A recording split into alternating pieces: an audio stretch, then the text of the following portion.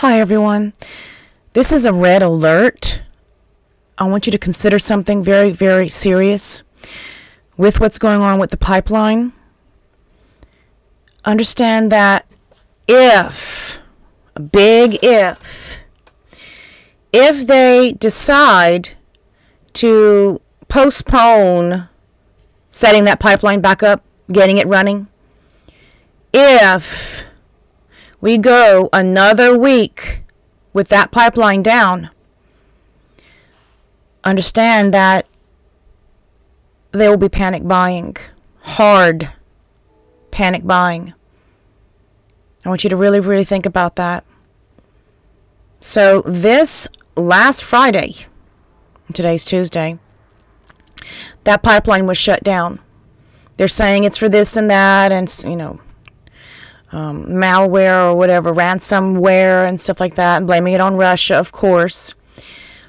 Regardless of the reason, it shut down.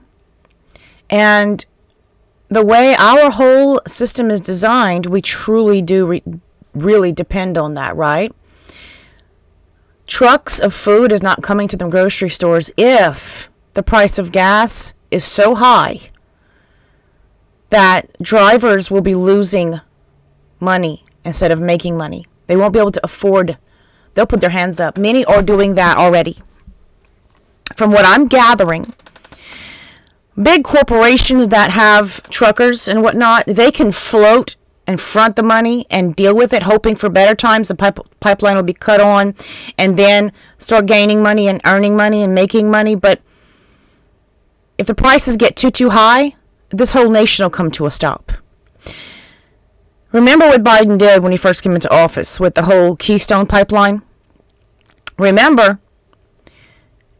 And then now with this, and I believe it's two or maybe even three other pipelines that just got shut off, another two or three of them. Everything, even your electric bill is going to go up high, I mean, sky high, because electric companies depend on oil to keep your power running, right? Same thing with water municipal water.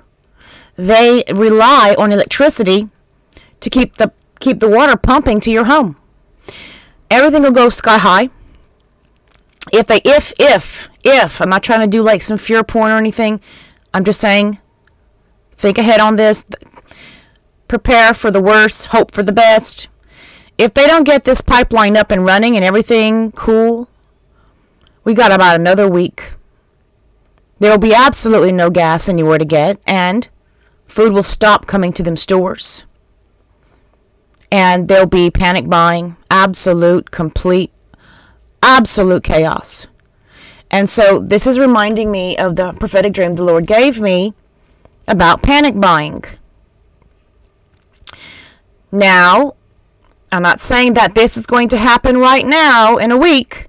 I'm saying it's possible me personally, because of that prophetic dream and of course the word of God, I'm waiting and I'm watching for whenever this particular dream comes to comes true, gets fulfilled. And so I always thought that this particular dream here would be fulfilled after we get nuked or something or attacked. Um, but it could be because of this pipeline, this pipeline shabacle. So just keep that in mind. Make sure that you have what you need, that you're good to go. You have enough water and food, and that your families are seen about. Do what you can. Please do keep in mind that with everything going on with Israel and Palestine right now, it's so crazy. And they have other pipelines being shut down. They're having problems, and it's it's an all-out war. It's bad right now over there um, in um, mixed neighborhoods, Palestinians and Israelis and whatnot, they're going at each other. It's pretty bad. So you probably already know that. I'm just trying to say, look, keep in mind, it doesn't take long. That pipeline doesn't get back up. Gas is going to shoot up through the roof and everything else along with it. And this stops food from going to the stores because it's so expensive to drive the food. Our truckers won't be able to afford it. And they won't be able to bring food to the stores. They're not going to be able to afford it. It's not worth it. The loads they're carrying are already decreased because of the corona. So they're not even able to carry big, big, big shipments over like before, which made it worth it. They made money on the on the heaviness, on the weight. And so now for quite some time they've been suffering, breaking even or losing money. And many have been not working because they can't make money. And then now the gas prices are going to go up like crazy because there's such a shortage. Many aren't going to be able to deliver anything. We're going to see barren shelves beyond belief if they don't get that pipeline up. And it won't take two and three months. It'll take a week. If they don't get it, if they don't get that pipeline up in a week, and one more in one more week. We don't even have that long before the end of another week, 7 days. There's to be there's going to be panic buying food. Store up on your water and make sure you have enough food, okay? I'm not saying go panic buy. I'm not trying to incite panic. I'm just saying pray up, be ready. Look, think ahead. A lot's riding on this whole pipeline thing right now.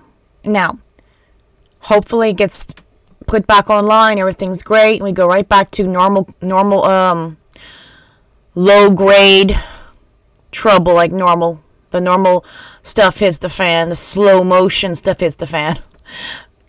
Just be ready, okay? I wanted to say this. Just a heads up.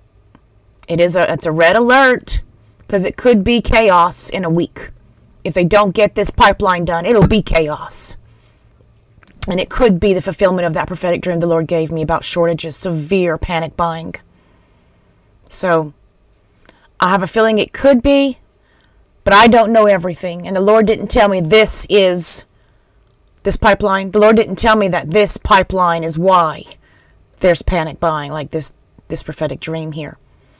He didn't tell me that, so I can't tell you that this is going to cause that dream to come true right now. But I'm I'm on the watch, and I want you to be watching too.